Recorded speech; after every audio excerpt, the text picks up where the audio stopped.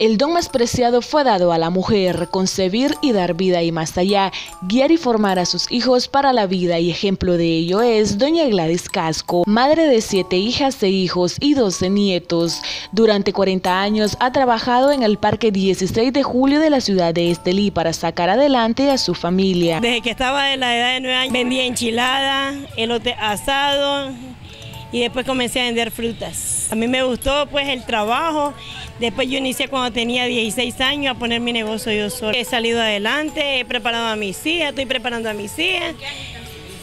Bueno, una iba a salir de la carrera, la otra está en tercer año y ya otra sacó la carrera. Desde muy temprano inicia sus labores. Ella es una mujer activa, un poco seria, pero con una mirada serena, llena de mucha ternura. Ella se caracteriza por ser muy servicial y poseer una gran calidad humana.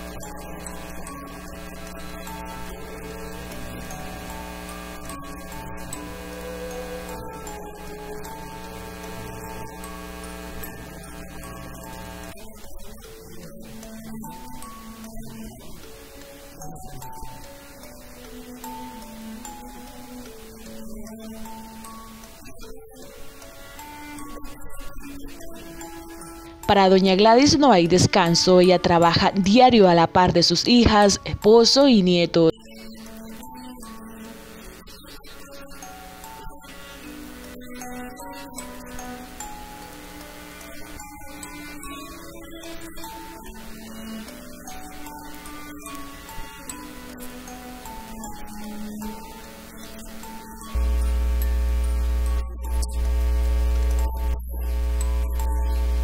Ella siempre va a ser mi segunda mamá y va a ser siempre mi abuela y siempre va a estar en mi corazón. Lo ha criado.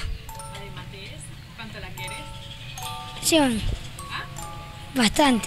Feliz, veo porque es mi madre única y como le digo, mi madre es todo para nosotros, el pilar de nuestra familia. Una mujer emprendedora, luchadora, de que para ella no hay ningún tropiezo en la vida, ya que han habido miles y miles de problemas y esos problemas se han tratado de resolver de la, de la vía del diálogo.